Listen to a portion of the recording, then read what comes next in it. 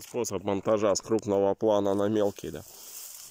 Прямой склейкой можно склеивать. Ну, вон та гора в туче соседняя. Сейчас покажу. И заметьте, тишина какая. Я только тут похрюкиваю в камеру.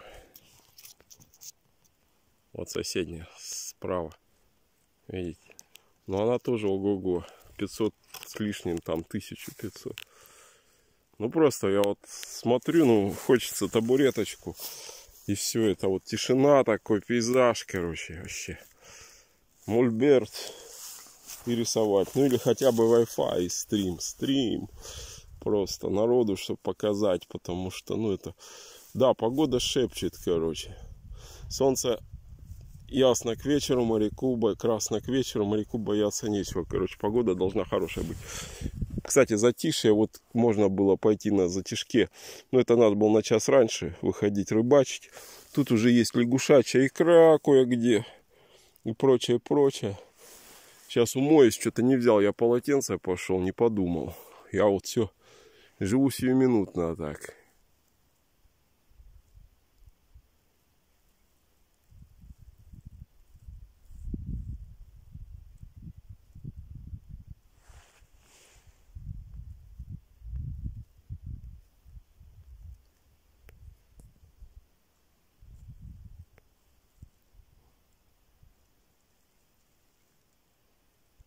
Ощутите полноту картины, сказочную загадочность бытия.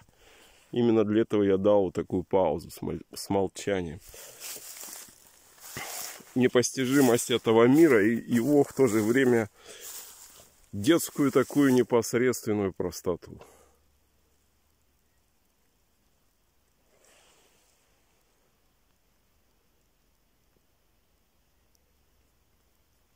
Если бы нефтяная вышка не мигала, вообще было смачно.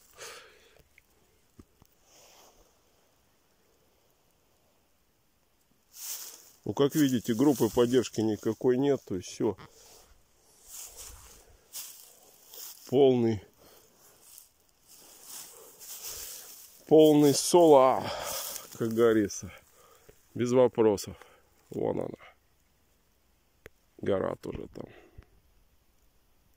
Вот такой ваш гид по дальневосточным загадочным. Ну, пирамида, конечно. Вот видно плохо, но был бы бинокль, вот она сейчас острая. Вот видно, да, вот она, пирамида такая. Причем ее видно и на поезде едешь местами, но она правильная. То есть там на плато она такая, вполне. Вот блик пойму. Загадочный Дальний Восток, 29 апреля Юрич, блин, с вами. Все. Пробую фонарик включить. Раздолбанный. Увы, кнопка не работает. Ну ладно, я его включу все равно. Нам, электрикам, не пропадать. Я так просто хотел понтануться в кадре. Смотрите, вода прозрачная какая. Но я не здесь набираю, есть еще более прозрачная. Увеличиваешь цифры в темноте. Здесь я так умываюсь. Набираю там ручеек еще дальше, там тоже красивая она.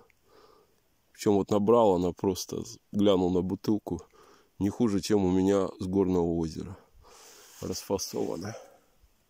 Ну а сейчас пойду по второму шашлыку жарить. Хотел еще взять картошку, надо было помыть.